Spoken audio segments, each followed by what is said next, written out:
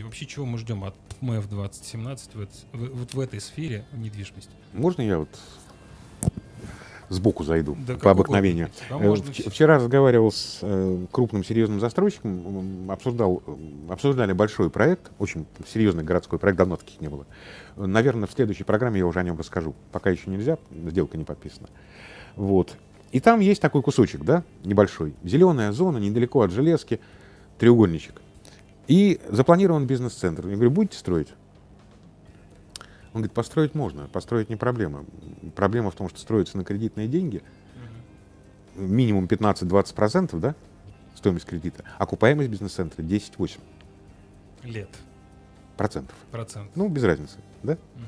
Вот как можно построить на кредитные деньги бизнес-центр, который каждый год приносит минус?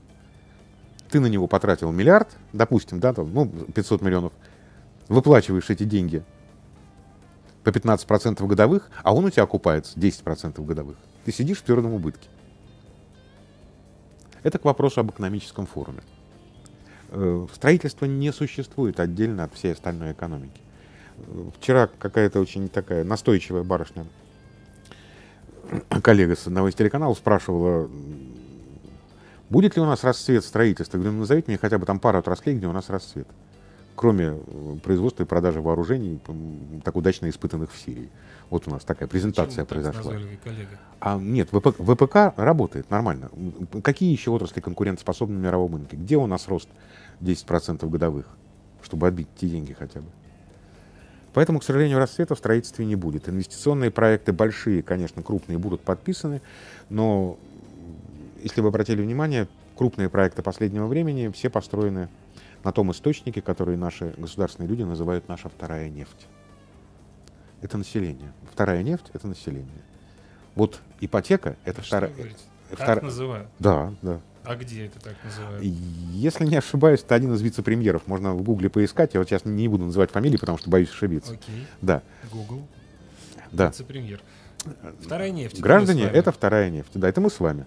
Это наши платежи, это наши платежи по кредитам, это наши налоги, это наши штрафы бесконечные за все, и их будет больше и больше.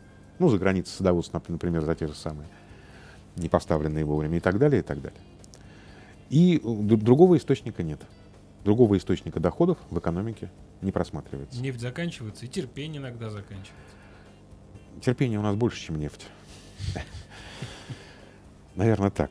Но ну, вот... То есть, вернемся к ПМФу. Э, главное, на что нужно обратить внимание, именно с точки зрения недвижимости. Вы как готовитесь к этому мероприятию? Чего лично вы ждете как э, шеф-редактор профильного издания? Э. Сколько интервью у вас запланировано, Дмитрий?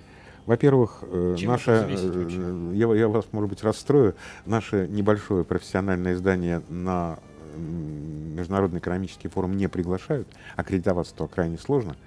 То есть наши люди ходят время от времени, но аккредитуются от ведомостей, например, или от коммерсанта. Угу. Профессиональное издание по недвижимости там не нужно. Понятно. Вот. Э, дискуссии, которые были бы интересны и действительно важны, я там не обнаружил. Меня вот заинтриговала фраза с удовольствием бы Герман Оскарович Грефа допросил подробно. Э, он собирается, он собирается регистрировать сделки с недвижимостью за один день. Это волшебно. Но это, понимаете, вот а зачем? Может быть, он в Эстонию собирается? Нет, нет. А, а за, зачем регистрировать сделку за один день?